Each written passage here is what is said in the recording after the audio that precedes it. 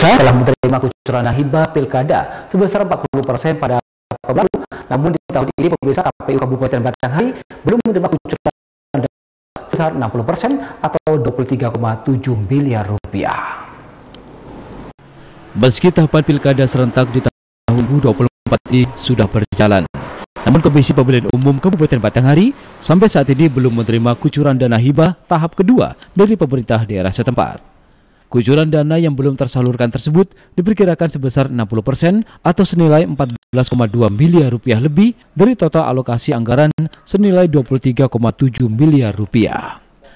Kondisi ini diakui Ketua KPU Kabupaten Batanghari Ahmad Halim. Menurutnya, proses pencairan dana hibah kedua ini belum terrealisasi karena KPU masih menggunakan dana tahap pertama yang mereka terima sebesar 40 persen atau senilai 9,4 miliar rupiah lebih di tahun 2023 lalu. Di mana saat ini pelaksanaan tahapan pilkada sudah berjalan hingga proses pembentukan badan ad hoc.